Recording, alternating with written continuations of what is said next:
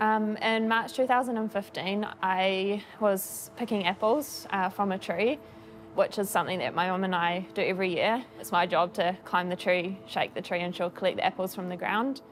This time it was a little bit slippery and wet, and I lost my footing and fell uh, about three metres. I hit a branch which spun me and I landed on my head and I was immediately paralysed from the waist down. I got a compression fracture and broke my T11, T12 vertebrae and a spinal cord injury. And I went straight to Middlemore Hospital and I had my spine fused. The doctors only gave me a 1 to 2% chance of ever walking again and regaining feeling and sensation from my waist down. When I got told that news, I was absolutely devastated. I didn't want to believe it, and I just said to the doctor that it's not going to be me. Um, I'm not going to live my life in a wheelchair. I did spend three months in the spinal unit recovering, learning how to walk again, and being independent by myself again. And then once I'd left the spinal unit, I came home, and again, I still had probably another six months of physio and rehab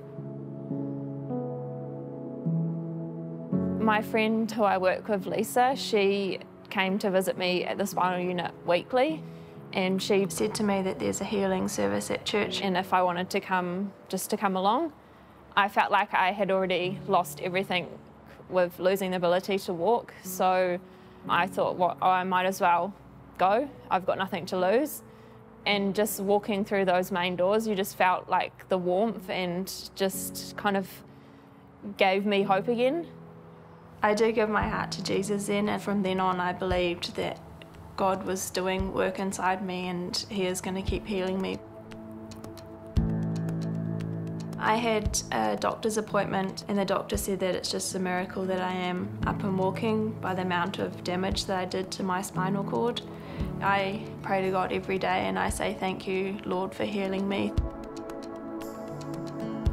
So before my accident, I did a lot of running. Um, so I actually wanted to look at doing something. Um, and then I heard that there was a, a paracycling open day. So I just went along to that and absolutely loved it. And they kind of just saw the potential in me and just have kind of grabbed me, I guess, and seen that I have potential to go far. And I've just been cycling ever since then.